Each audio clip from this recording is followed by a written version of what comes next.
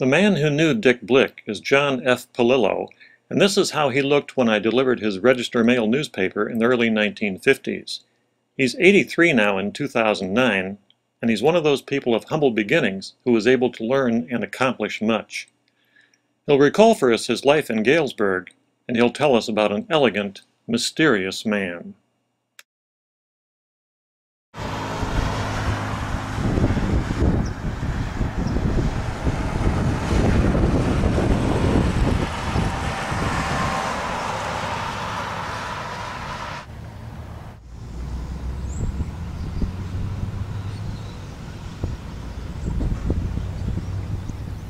I've never met anyone who actually knew him, so this is interesting to me just to find out what he was like. And Yeah, it, it was uh, after the war, 1944, 45, 46, and everybody was back home and the taverns were booming and, and uh, then the tavern, and I was tending bar. And, uh, uh, and then the tavern business, everybody started getting married and having kids and it settled down and the packaged liquor business started. And I worked in the first packaged liquor store ever in Galesburg and it was on Prairie Street. The Purity Tap is when I worked there across from the West Theater, and Olson Brothers, who had five taverns, and we, you know, centralized. It was quite an operation. That was a that's a story in itself. Is the Olson Brothers tavern business, but uh, anyway, it was a it was a great packaged liquor, cheeses, and it was just better than anything we've got now in packaged liquor, even even the new Hy-Vee. But uh, anyway, uh, then FM radio was coming. So I was tending bar and going to college. FM radio was coming in. And the two first FM stations were Canton and Burlington, which is strange, not Pe- Peoria or Quad Cities.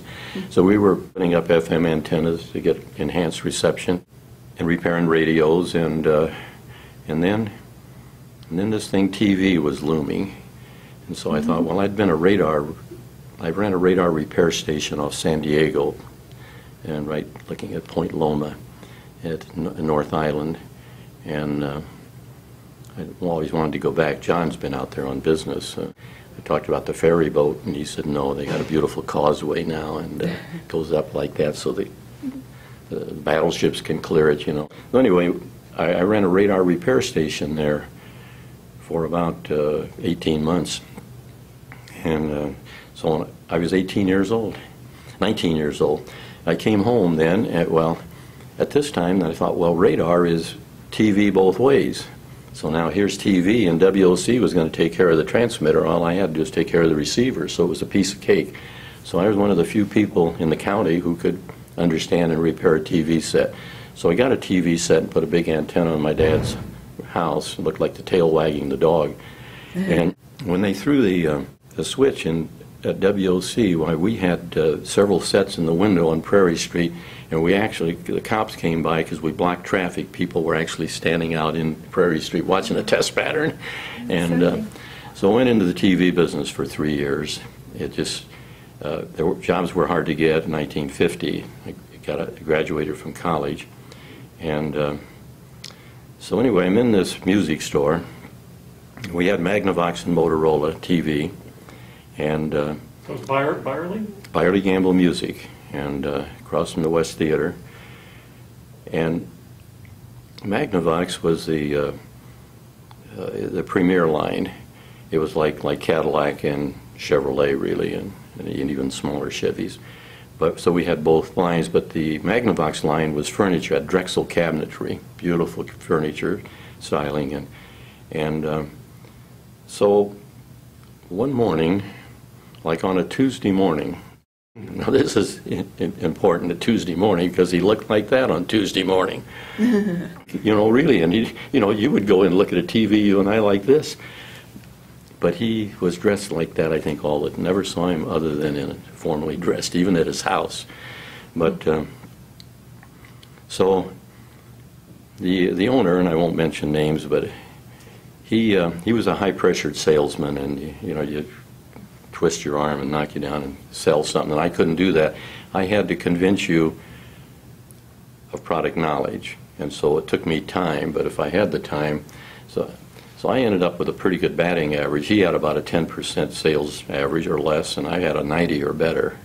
and uh, I think people finally realize this is complicated, and this, and maybe this Dago kid knows what he's talking about, and they kind of, uh, anyway, I sold a lot, but it took, it took an hour to sell a TV. I couldn't do it. So anyway, in comes this gentleman, a gentleman, and a gentleman. And he, we go back and we had this big center room with most of the TV, and I had a mock-up of a rotor and an antenna, and uh, and we had a bare chassis of TV showing picture tube and components, and, and the fact that it was wasn't just a screen, you know, a magic thing like like now with the plasmas and the LCDs, but It's magic now. yeah, it's magic now. So you do, you did, you digital dudes, as I called you. you push a button and all hell breaks loose, and we we we had to work for our information.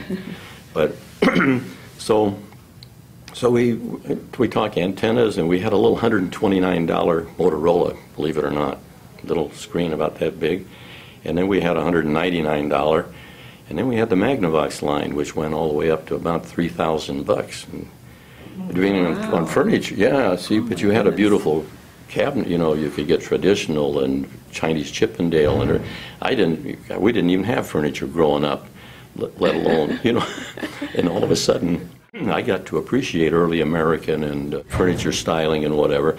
So, but I'm taking this quiet gentleman on, on a tour of television land, and we, and about an hour goes by, and, uh, he says uh, he had this three-piece suit with the vest, with the sharp collar, the big collar, you know, I don't know what that's called, but, and uh, he had the gold, the big watch fob, and so then he stops me, he, and he says, "Mi- Mr. P- P- Polillo, he said, I, I must be going now.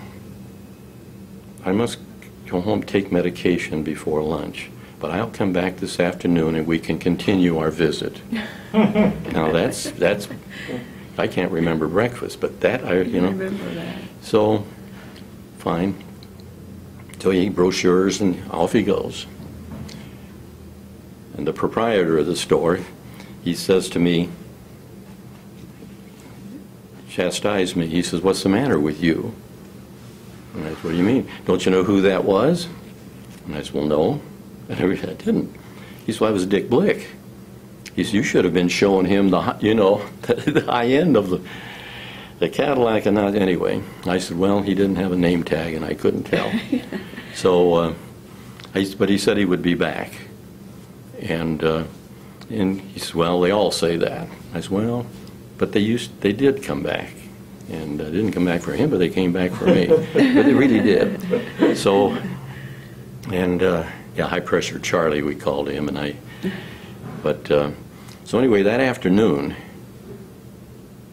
the phone rings and the uh, secretary is sitting there and somehow she seemed to know about the conversation. It was about 3 o'clock and I'm up front with a customer. She says that she could hear Gamble's part of it and interpreted Dick Blick's part of it. And he said, I told your Mr. P- Polillo, and he kind of always would stop at P- Polillo, and whether it's a complicated name or whether he had a little bit of a stammer, I don't, but I, I don't want to say that, he, because he's just such a nice man. Uh, He said, I told him I would be in, but I'm not feeling well, and I won't be coming in. But he gave me the brochures, and would, you- and I know he doesn't have it in stock, but would you tell him I would like the Magnavox Regency with the super antenna and the rotor and the booster? And all of a sudden, here is like that, about a $2,500 sale, $1,950. And uh, so anyway, of course, Gamble was beside himself because he never could do that. And, uh, and, and anyway, so so then, so we installed the set, and uh, and then I got to go out, of course. And in those days, there were a lot of knobs on TV sets, and they were complicated to adjust. And then there were repair criteria stuff, situations. So they would call me, and uh, they would ask if I would come out at three o'clock in the afternoon. And uh, By Uh, they, you mean Mr. and Mrs. Blick? Yes. Okay. Yeah, Mr. and Mrs. Blick. And I think they lived on maybe Beecher or,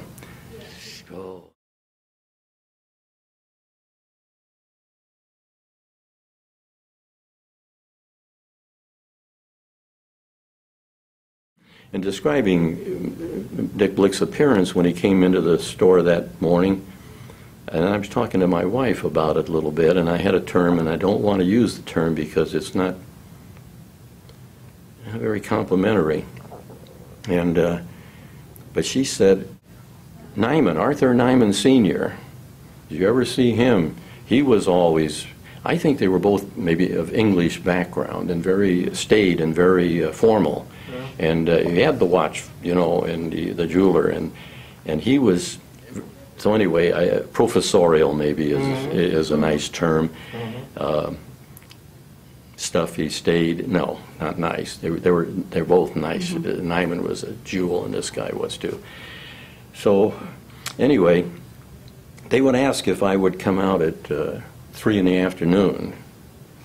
So I would go out at three in the afternoon, and we would take care of the adjustment or whatever, and then they would ask me if um, if I would like a cup of tea. So we would have tea, and then we would have a visit. And I got the impression that they enjoyed my company. I had charisma. no, I could talk on most subjects, and, and they seemed to enjoy. I, I got the impression they might have been lonely. I don't think they had a lot of. I think he'd had success. This 1950, some 49, 50, 51, that. And I think he, you know, had sold the business by then. I understand it was 50. 1948. Okay, so, um, and she seemed a little more socially attuned than he. He just seemed confident in, in himself. There are very few photos of Dick Blick. Here's one, probably taken with the business in the Bondi building after 1933. The mailroom is busy. Here's a desk he used in the early years of the business. And here is a later picture of Blick. He might be 65 here if this is 1948, just before the business was sold to Robert Metzenberg. Going way back, we know that for a few years until 1905, Blick was a newspaper reporter in Muscatine, Iowa. On a trip back to Galesburg, he found a job which more suited his talents at O.T. Johnson's, where he became a window dresser and sign writer. In 1910, on a shopping trip to New York, he noticed a new pen which made fancy sign writing and other artwork much easier.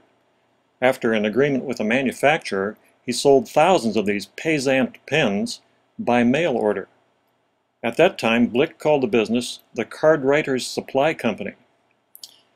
Meanwhile, Blick and wife Grace were crafting brushes and other art supplies in the kitchen of their West Main Street home.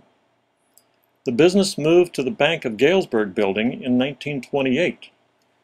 In 1933, Blick needed more space and moved to the Bondi building. These photos show the impressive amount of space there in the basement. These outbound mail bags indicate the success of the mail order business. And here is the best photo of Dick Blick that we know of. It first appeared in the 1933 catalog. If the picture was taken in 1933, he'd be 51 here. But I found them to be uh, nice, kind, gentle people, and maybe, maybe at that time, maybe kind of lonely. And uh, Did they have children, do you know? no, and They didn't. no, they didn't. I think they had a nephew out east, and that they would refer to, and uh, and I think I was probably as close a friend, and I don't know. I think they were fond of me, and but as you say, what's not to be? No, I, but uh, so anyway, um, they were just kind, gentle people, and uh, I think you know they they were not socialites or anything like that, and uh, and then so then it was maybe he passed away when Karen? Do you remember? Uh, Well, no, I don't know I exactly. think I think maybe John.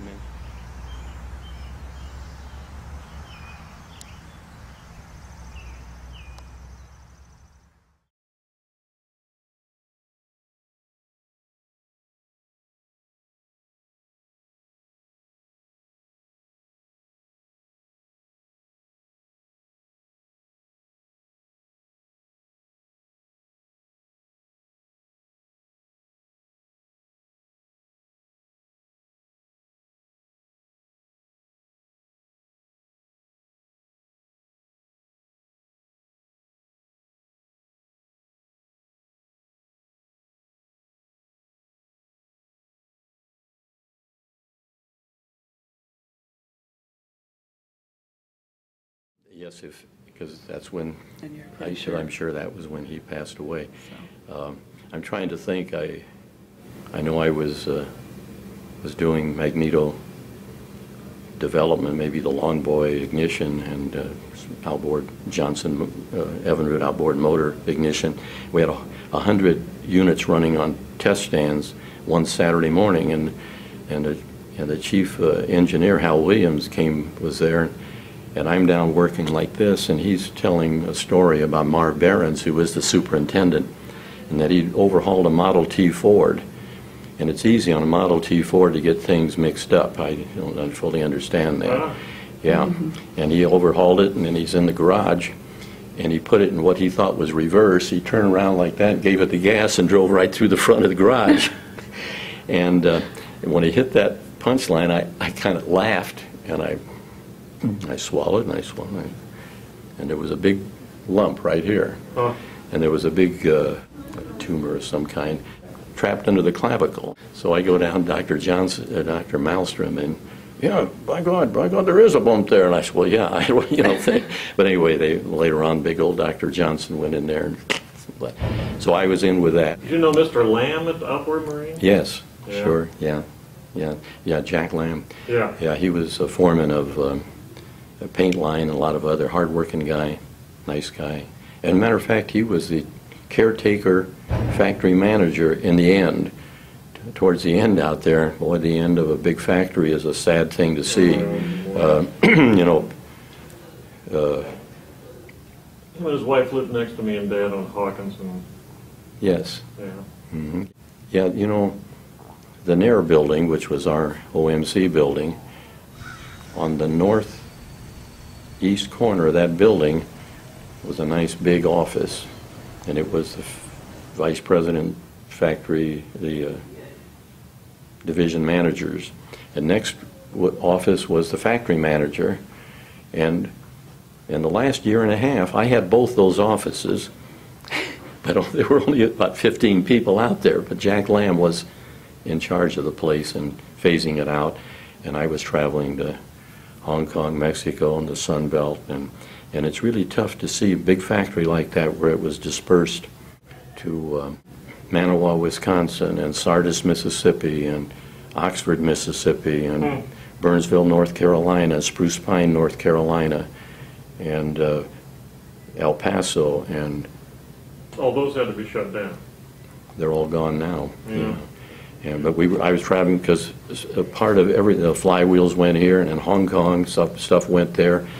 And, uh, but it's really scary. A lot of people don't understand, you know, that they pay, they say, well, they pay 70 cents an hour in Mexico, and sure, and a dollar an hour in Hong Kong. Yeah, and no benefits, that's it. But the, uh, the real impact is, is you have this, this room full of money that you save with labor, and then they automate, they bought robots. So not only was it low, inexpensive, but they, they had higher quality, more dependable fabrication. So it really is a terrible double, but it, but it really is terrible to see how a major factory like Maytag, and, and then after I retired, I, I was traveling to all these places in, in Hong Kong, and it was kind of a nice experience, good way to end a career, really. And, and then I got into statistical process control and, and out at Case Rubber and Adams Press Metal and Maytag and Butler and Caterpillar. And so, uh, anyway, I like to say I've seen the enemy, and but I don't want to call them that because I was fond of the Chinese people. And the But you Meg- knew a lot of stuff.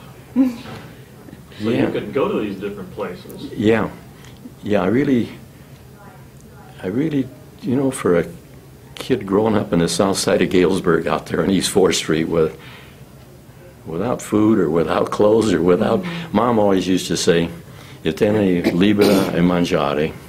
I like that, Karen. anyway, so if you've got books and food, something to read, and food to eat, you can't miss being successful. Well, I I interviewed Vir- Virginia Hinchliffe yesterday. Yes, yeah. Did you have her for a teacher? No, but my kids did. and My daughter Annie did. And she had uh, humble beginnings. Oh, absolutely, yeah. Yeah. No, it was really unbelievable down there. And then we were different. We looked different. We spoke Mom and Pop couldn't read and write, couldn't speak the language, and Did they uh, come from the old country? yeah, Pop came from Sicily and Mom from Naples, and uh, and it is pretty remarkable that. Uh, and how we got to be technical, I don't know. But my brother Bill, you know, really, it- it's kind of weird, and uh, we really didn't have books and things, and uh, Bill and Pete ran the phone company, and I mean, Bill was chief engineer of. Intrastate phone? Yeah, they actually, Bill was chief engineer for DDD and out, and whatever, and Pete was, uh, he had, um, uh, he came out of the Navy as a radio operator, and he's, he was both in uh, the U-boat thing out in the Atlantic, and then he was on a destroyer ex- escort, and then, and then afterwards in the Pacific. So, um, and my brother George was uh, in the Philippines, and uh, my brother Bill then was later in the Korean conflict. Show me your brothers. And he was in the Korean conflict, my brother Bill, and uh, he was in- Upper left is George. Yeah, George, and then Pete, and then myself, Let's see you. Oh, yeah. and then this is Bill.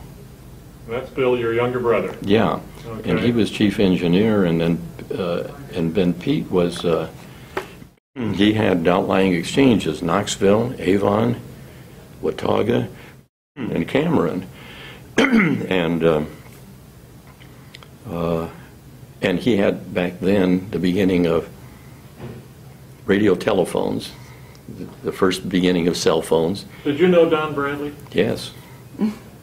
I My dad was with him when he died. Oh, gosh, yeah. Uh, Dad, back in the beginning of those radio telephones, Yes.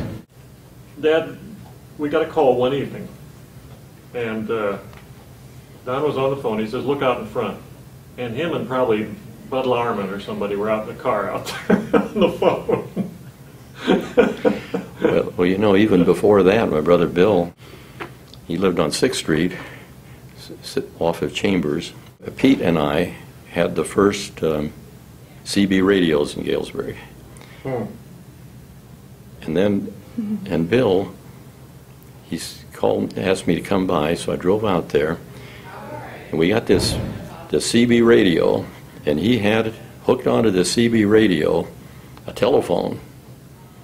We got in his car and we drove around, and we're talking on this CB radio telephone. That was the first cell phone ever in Knox County. Yeah. And he just thought he could make some, you know, he really, he was a good inventor. He, he came by my house one night. I just gotten out of the shower. It was J, J, uh, Johnny Carson was, or even bef- maybe before that even, but, and a headlight pulled in the drive, and I thought, God, it's almost 11, 10:30. And so I go to the door. It's my brother Bill, and he's got a electric meter. He says, "Oh, he's what time is it?" you know, he was just. And I said, "Well, it's okay. Come on. What do you want? Come in." So we go down to my bench, my workshop downstairs. He takes this meter and he hooks it onto my telephone line. Picks up the phone and he calls down at the whatever the office downtown. Mm-hmm, mm-hmm. And he tells the guy, he says, he said, give me 30 seconds and call me back. He takes this Illinois Power and Light meter and he takes the dials and he goes 3621. And we wait. And the phone rings and the guy says 3621. We're reading that electric meter via the telephone line.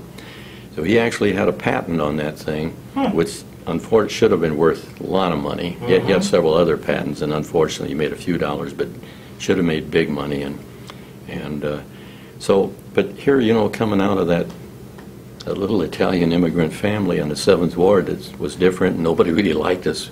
It's still hard to believe, but anyway, I did what I did, and Pete and Bill did what they did, and uh, and then you know, uh, one other little anecdote. Uh, one Sunday, my brother Bill called, and he said, uh, "Are you?" He was. He, he was the nicest man ever in Galesburg, my brother Bill. Yeah? Yeah. Yeah. I, I'm a good guy. My, Pete, these were good guys. You're not a bad guy. This guy was head and shoulders, held. just no question. But anyway, he called and he said, "Are you you busy?" And I said, "Well, no. What do you need?" He said, uh, "The fellow next door," he said, he said he's been on the road all week, and uh, he said, "I don't know, he's either a salesman or a sales manager for Dick Blick Art Supplies."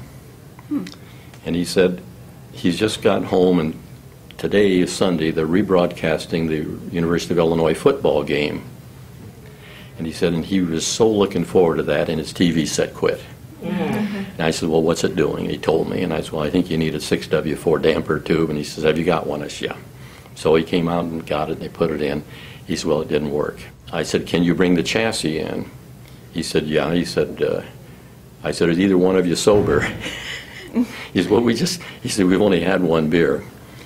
And uh, so about an hour, half an hour later, well, here comes these two guys and maybe a Cadillac. It's Jack Wyatt.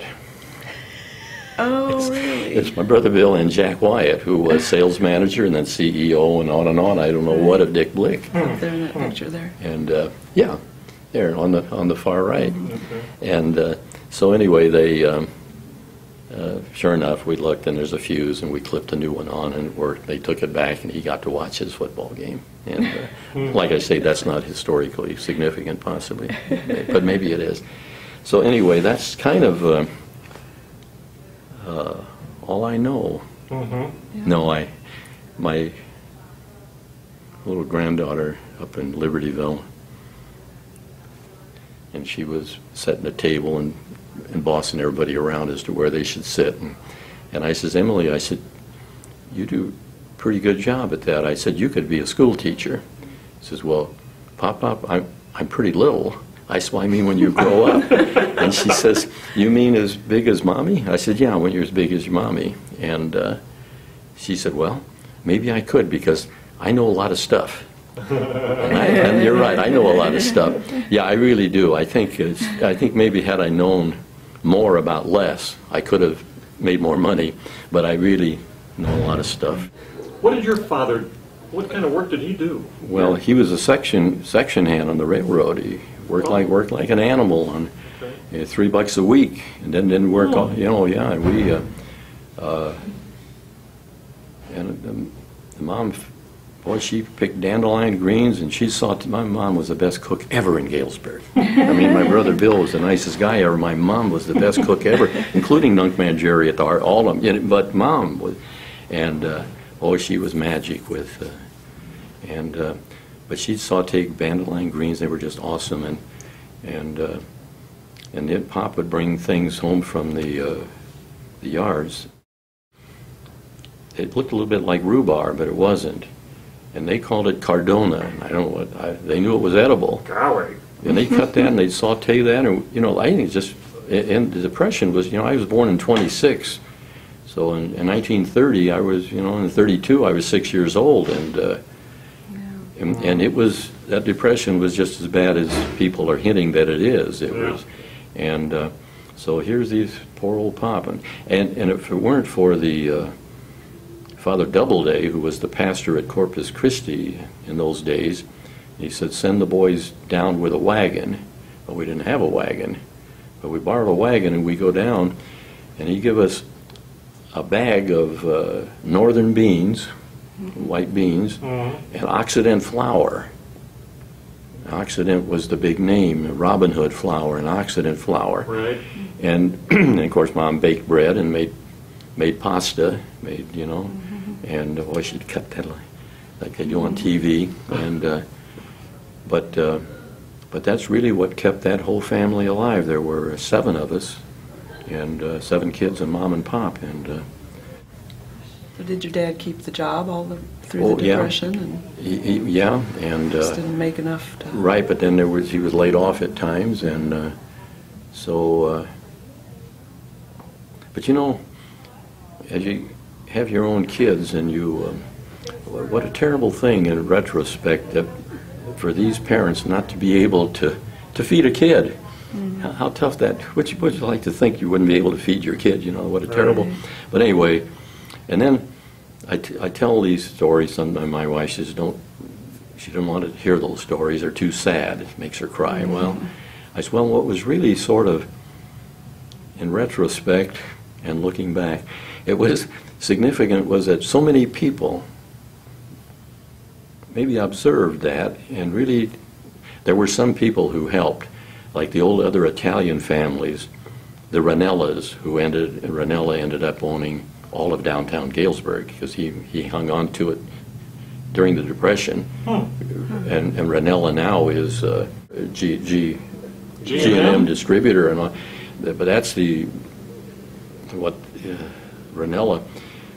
But Anyway, he, um, my, he, he almost lost his mind during the Depression, but he ended up with several square blocks of downtown Galesburg, and that, and then there was Lagomarsino, Lagomacino, and there Right. was uh, Guadalabene. Guadalabene Watchwell would be the English, and he was my godfather. Yeah, Antonio Guadalabene, God, what beautiful people, he and, and my godmother, and uh, Antonina, and uh, uh, I was an altar boy at his funeral. No, that's not right. I was at his funeral, and the priest said that he visited him in the hospital, and he was 90-some years old, first time he'd ever been sick or been in hospital. And he said, I asked him, he said, Tony, he said, uh, 90 whatever is, is a long lifespan. How has it seemed? Has it seemed long?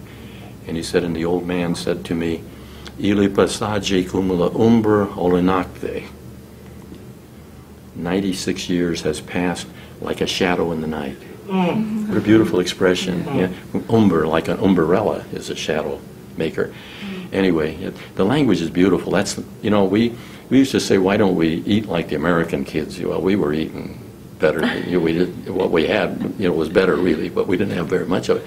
And why don't we talk like the American? Well, thank God we didn't. boy, I learned a lot of stuff, a lot of bigger words from, uh, because, it, you know, 90% of the $5 words in the English language are n- nickel and dime words in Latin and Italian. Yeah. So, boy, if you get that, you, you got a lot of bigger words. And um, one time I went by my folks' house, got a 19-inch Motorola TV, and it was Sunday afternoon, and I was leaving, and I was going to adjust it for him.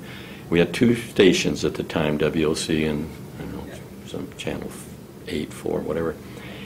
I, I says, which channel do you want me to leave it on? I was going to adjust the fine tuning, and so these old folks could watch a, good, a picture. Well, it was Meet the Press on one channel, and the Lone Ranger on the other channel. Now, Mom said, watch this. Meet, she wanted to watch Meet the Press. Mom was, there was something, mm-hmm. too bad you. But anyway, and Pop says, no, he wanted to watch Lone Ranger.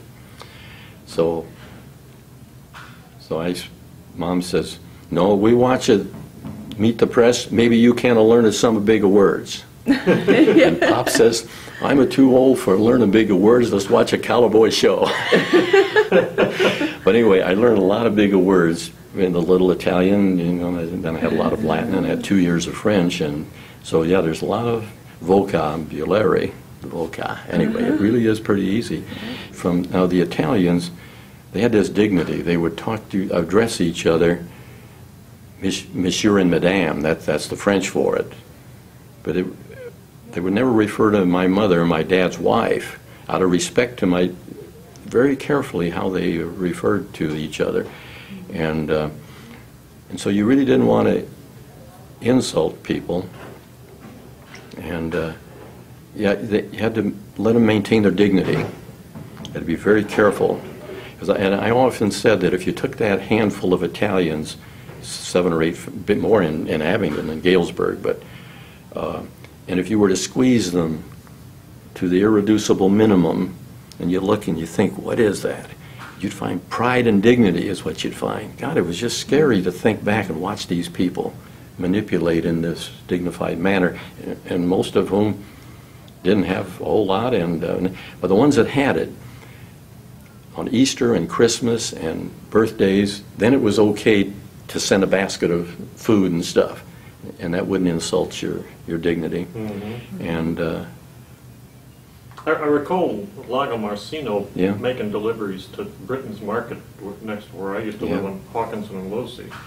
Um, Did you want to say something about those, uh, the liquor business in, Oh, yeah. Uh, you know, one more little anecdote about, uh, you know, all of these uh, big distributorships, you know, and, I, and like got to be careful now, because I, God, I can be, I can be awful. We can edit. I can be, I can be terrible. You know, this Dago, this Dago temper, yeah, this mafioso mentality is a terrible thing. And uh, yeah, you're, you, if you've ever, I'm the only potential murderer you've ever talked to, I think. But uh, well, it depends on the. All of a sudden, you know, forfeit. Wow, you have forfeited. And, but anyway, that's the rationale. Um, but, uh, but but anyway, they, they, they did well, and uh, at times.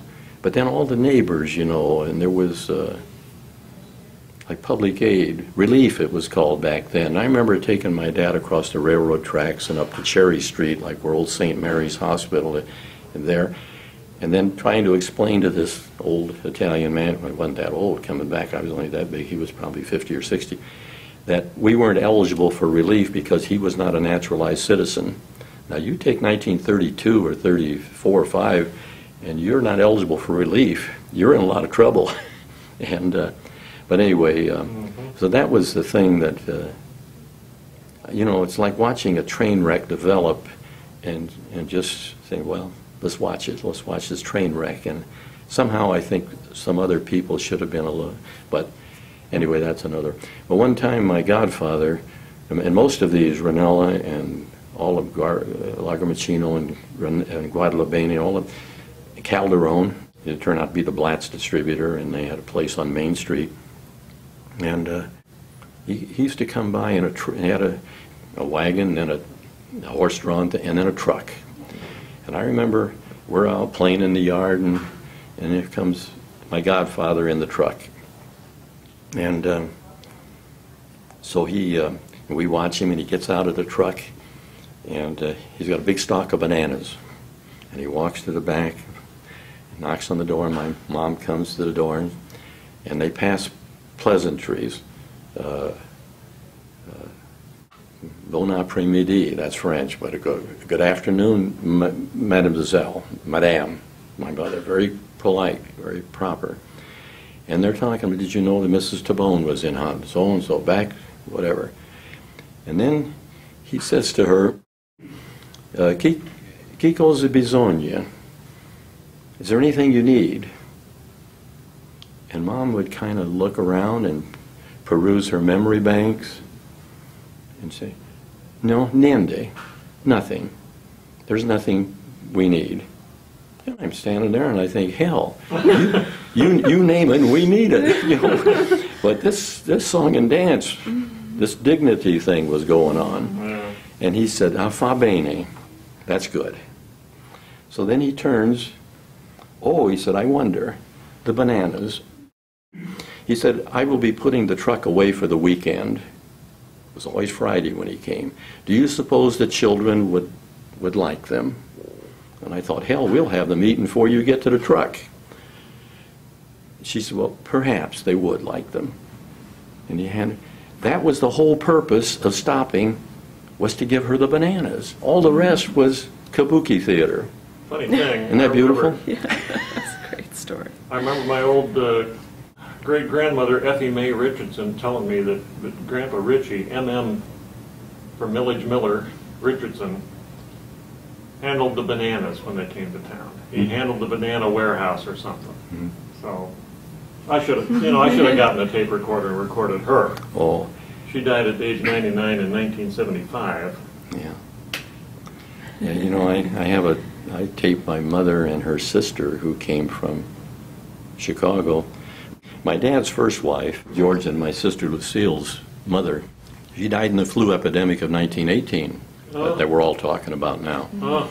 And uh, so then this poor old Italian man with two little children needed a wife.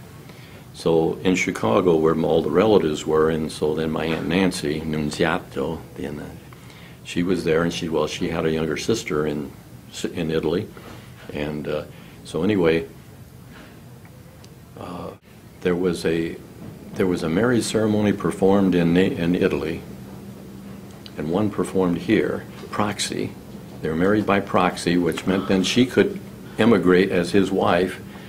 They never saw each other until she showed up as his wife in this country. and uh, oh God, and mom, uh, boy, when they, they, they'd get into arguments and she'd say, uh, I don't know. Oh, and, and of course, the Italians, you know, they can argue with the hands and the, the whole bit, you know. And she says, I know would have married you. I would have married a cowboy. She would have married a cowboy instead of, and we, I don't know what she, but anyway, uh, so, uh, Well, well, now, yeah, the only other thing, you know, back when I was talking about the early television days, back then, Okay. there was uh, Byerly Gamble Music on Prairie, and there was Berg, the big Philco dealer, over on uh, Simmons Street. okay. Uh, That was a big operation there, and it was, Philco was big in those days.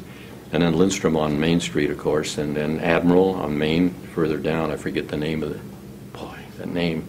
And Dunn and Julian was there. Oh, yeah. Then Sears had TV, Black's Hardware had uh, General Electric, and then other appliance stores. There was an appliance store down by Sears, and they had a, had a line of TVs. And then late, later, Carson Pirie Scott, no, who, who, uh, where Lindstrom is downtown now, that Block big. and Cool. Block and Kuhl came, and they had, uh, they had, the- they got the Magnavox line. We tried to stop it, but they, somebody explained to us that Black and Cool and Carson Pirie Scott maybe too were part of them, that they were bigger than Byerly Gamble, so they, we weren't going to keep them from getting the Magnavox line. And, uh, and then back to the, uh, like I said, the, the Olson brothers, that, that might be a story. You know, They, uh, two brothers, there was George and Oscar, and, uh, and they ended up, uh, they had, uh, well, when I, uh, I was coming out of church one, one day, and there was a fellow named Leo Kennedy, and he said, uh, said, John, I understand you're looking for a job. And I said, yes, we're looking for a bartender. And I said, well, I don't know anything about bartending. And he said, well, we can teach you that. He says, we have trouble teaching honesty to bartenders. You can either drink the business away or give it away or steal it. And, and I, as I got into it, I, I saw how all three were possible. So anyway, I went down and I started tending bar at the White Elephant on Boone's Avenue, which is Park Plaza. Boone's Alley? It was Boone's Alley. Yeah. And it was a nice cloverleaf bar, and that's where that picture was taken. You and? Jean Rousseau, He's on the right. Yeah. Okay. Jean Rousseau was, uh, he was in the Army, and he ended up out here at the uh, Mayo General Hospital. And then he met a local girl, and they married, and so he stayed and became, he was the head bartender at the White Elephant. And, uh, well, and he was quick like a Bostonian, you know, they talk quick, and he was fast, and God, he was a great bartender. And I started tending bar, and I, you, you'd think I was in a chemistry lab, you know, pouring a shot of booze, you know. And pretty soon I got so I could throw it around pretty good, but he taught me. And then sometimes they would send me to one of their other places. They had the one on Prairie Street called the Purity Tap then. Later it was called the Copacabana. And uh, that's the bank parking lot is the whole thing in there now. There was uh, McGrew and McGrew Insurance and Clay's Wallpaper, and which, and that became the packaged liquor store, and then the tavern. What about the Alcazar? And the Alcazar was on Main Street, and it was a bar and uh, a lot of pool tables. And- Real, a lot of, I guess a lot of railroaders went there when they got paid. Yes, yeah, and then there was a place on, uh, uh, coming up on Sem- South Seminary there, uh, Mead's, Mead's home, uh, that uh, caddy corner from uh, Peoples. There was Bob's Tavern there, and l- and most, on payday, a lot of them didn't, heading for our end of town, Fourth Street, down around Carl Sandburg's place. Um, They didn't get past Bob's place with a paycheck, which is kind of sad, really.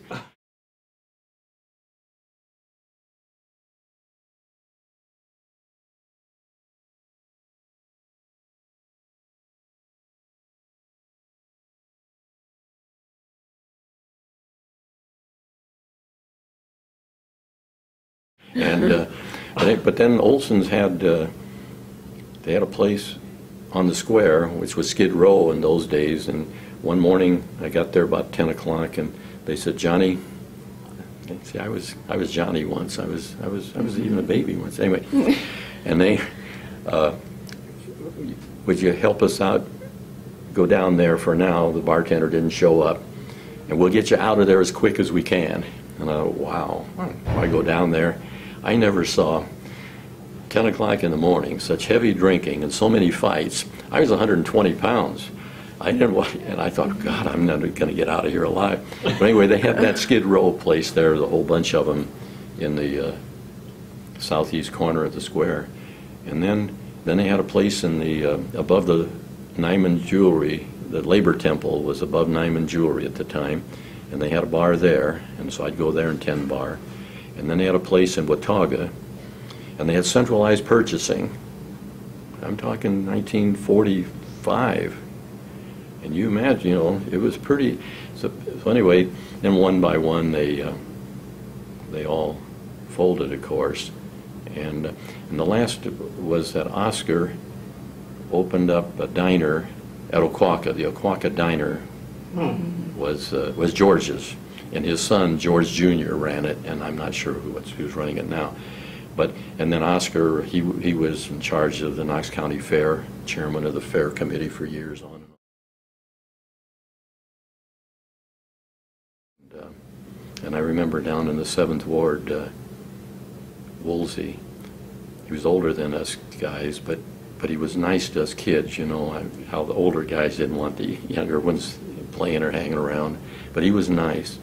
Alvin Woolsey, damn, he didn't, he was, he lived in the first house maybe south of High-Low Grocery, and he didn't come back from the war, and, uh, and Busher, Edwin Busher, there was a Busher working here. Um, It might be his nephew. He didn't come back from the war, and Jack Benarchik, and uh,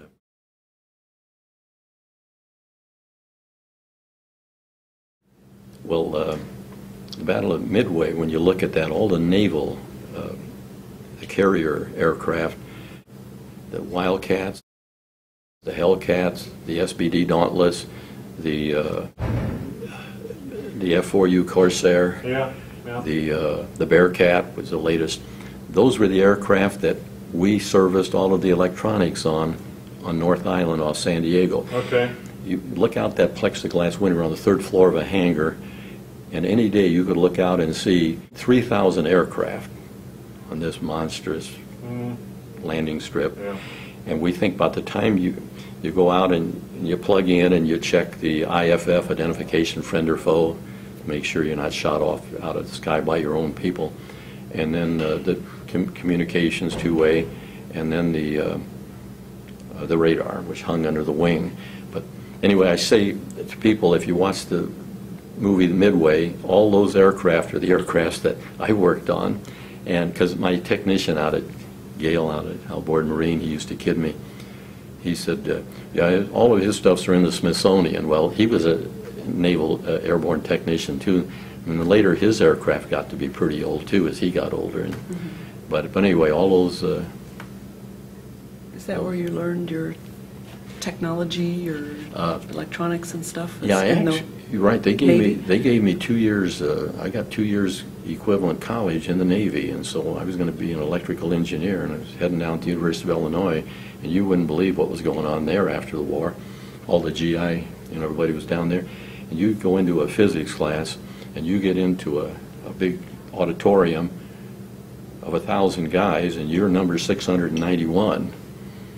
And uh, I finally, and I left there and I went to Knox, and all of a sudden you got, there's five guys in this, uh, this nuclear physics class. And and the prof would say something and you'd frown. Something wrong with that concept, John? Think of the, the contrast between, you know, the individual attention and uh, class size and whatever. But yeah, I, uh, I was a pretty good uh, radio repairman before I went into the Navy and took a class and got, but then I did get uh, at uh, boot camp and then pre-radio Theodore Herzl Junior College and then Oklahoma A&M and all these secondaries. So we had, uh, it was about, you went to school six days, five and a half days a week and, uh, and then you, uh, but anyway, it was worth two years of college equivalent and, uh, but, but, but the radar, you know, that's like I say, TV both ways, you know, you, you send the beam out and pick it up. So you, you're responsible for the whole thing and, So uh, you were, you were at U of I? uh, just briefly, and then, uh, And then we had a sec, uh, U of I was here in Galesburg, you know, and I went out there, but I didn't, No. I didn't really. Yeah, we had a, uh, right after the war, there was a, uh, it was up at the research, you know, the, State Research Hospital? yeah, and, Okay. and they, had- they- there were classes there. It was actually, uh, Okay. and uh, some friends of mine were there, and I used to go up and visit them, but I never took classes. I really, at the time, I thought, no, I don't think I want that. And, uh, So you went to Champaign? yeah, yeah, and I didn't really stay there either, and so I ended up at Knox. Hmm. And, and majored in physics and minored in math. One time in grade school, I, uh, mom and pop couldn't read and write, so I used to sign my own report card. And one time I go back and they call me into the superior's office at St. Joe, and the nun gave me hell, because she knew it was my, I thought, well, but then, this thing, you know, they had, in those days, a lot of, you know, there were about six A pluses and about five A's. But I, but mom didn't know what an A was and didn't know, and, but anyway, so I was really a pretty good student. And then in high school, I was a good student. And I remember my junior year or senior year, Knox College sent me a note that they were interested in offering me a, Scholarship? thank you. I see what, two, two o'clock, two o'clock would have been terrible. I told her two o'clock was my nap time, and I, I think maybe it's coming. we had to come. But It's anyway. getting close. Yeah, so, uh, but anyway, I, I thought, well, it, it was sort of a snob, had a snobbish reputation. It was really suburban Chicago, people, kids coming down, you know, and, Hmm. and um, now I think it's, but anyway, it, um, so I thought, what do they want with me, you know, and I, and I just threw the paper away, which is crazy when you think about it. So then I uh, go into the Navy, and towards the end, then, a friend of mine from uh, Detroit, little guy who had actually played first string for the University of Detroit and played in Madison Square Garden. And it was a real thrill to play basketball against that guy. Have a little guy like that out rebound you. Yeah, anyway, um, he, uh, we're reading Time Magazine and we're reading about this thing called the GI Bill. Yeah. And he says, well, they're going to pay books and tuition and give you $75 a month, which was big money in 1945. And uh, uh, so anyway, um, so then he says, he asked me where I was going to go or if I was going to go. And he was a real character. And I said, well, I don't know. I, he said, when he came up and he said, you crazy goddamn Dago. He says, he said, if you don't, uh, don't end up in college, I'm going to personally come down to to that rinky-dink town of Galesburg and kick your all right around, the- all around that public square. So, anyway, I come home on leave then, and I go over Knox, and I talk to the registrar, and I ask my friend, yeah, your friend's right, and uh, just bring in a, your uh, grade, grade uh, Transcript? transcript. Yeah. And uh, Char- Charlie McCarthy and Edgar Bergen here. Uh, But, uh, so anyway, I go over to Corpus Christi and, uh, and I got the transcript and brought him over, and it was like straight A's. And so, he said, well, there shouldn't be any problem. So then I, uh, I went to Knox, and at the same time, I was uh, putting up FM antennas and repairing radios and, and getting into this TV thing that was coming. Mhm. And then after that, about three years and things, he, he wasn't too happy and I wasn't too happy. And so I uh, answered an ad out at Outboard Marine. Well, actually, the, the chief engineer who came to town for ignition came, he was a, he liked to spend time at the bar. Mhm. And he was, and this big guy that ran the bar on Prairie Street, he said, well, I got the smartest technical guy in Knox County working here as a bartender. He's talking about me. This big, you know, this guy couldn't spell tech, technology, you know. But anyway, sure enough, guy called me. My God, he hired me, and uh, Wow. so I started out as a designer, and then, uh, um, and then I, you know, then I started teaching classes in a factory, and then found that I had a knack for teaching adults. That's di- you got to be careful with adults. You can't. You got to. They're intimidated. You know, you got a 60-year-old electrician there, and this guy's scared. But the company says you go out there and take that course, or you you, Yeah. you got to. Yeah. Anyway, you kind of. Anyway, I developed a, a real neat uh, way of of teaching adults, and uh, uh, I, I did that for District 205. And then when the junior college was formed, a real beautiful guy, Dr. Masters, was head of vocational technical. He'd come from, he was principal at Canton High School. So one day, so he's talking to District 205, and I forget the night, Chamberlain, nice guy. Everybody's gone now, but anyway, he, uh, so I phone rings out at work, and I pick it up, and he says, uh, Professor, he- you know, P-E-R, Professor. He said, this is Dr. Master, so-and-so. He said, I have it on good authority, think of this now, word for word, on good authority, that the vocational technical curriculum at Carl Sandburg will not be successful unless I convince you of coming to teach for us. And I laughed at him. I said, well, I don't have a teaching certificate. No, he said, you don't need that. He said, the state requires that you have a certificate in the field and five years minimum experience in that field. So anyway, then I went out there and, uh, like I say, I was there from day one, half-time. And uh, so, uh, Out at, out where it is now? no, no, no, it started out at the Congregationalist Church No. in all those Various classrooms. buildings. Yeah, and then we went across the street to Brown's Business College. And then we went out to the Quonset huts out at the main campus, and then eventually the main campus. But yeah, I taught in, in all of them, and, uh, Hmm. yeah, and my dilemma now is I've got, I've got a room full of stuff. I mean, it's, it's good stuff, you know, and, and, and I gotta throw it, I, you know, and I, I What, just- what, what kind of stuff? well, it's course material for, you know, for 50 different courses for Yeah. Carl Sandburg, for District 205, for Yeah. statistical process control for any of the factories anywhere in the world. And uh, I, don't- you know, I've even got an oscilloscope and I can fix the TV set on a good day now. But, uh, Are we not done? yeah, I do think you- so. can you think of anything? You answered every question I would have had. Uh, Yeah. Yeah, as far as the Blicks, I, I just, like I say, I think they were just nice, gentle people, and, uh, Yeah. and I was maybe one of their, one of their better friends, and, uh, but, uh, but, it- but it was, you know, it's a real good, uh, the, the experience of his buying my t, the TV from me, you know, was a real good idea in sales, you know. I remember going to Motorola and taking sales psychology courses, you know, and, and uh, little things like you never say, well, uh, you want to buy this set? You always say, which of these two fine set? You don't want to give them the opportunity to say, stuff like that, you know. And, uh, but anyway, I, uh, I couldn't do all that. I- All I could do is convince them that I knew what this was all about, that I could make it work and whatever, and, and that if you didn't buy it from me, you were really missing the boat. And, uh, so. Thank you very much. Thank you very much.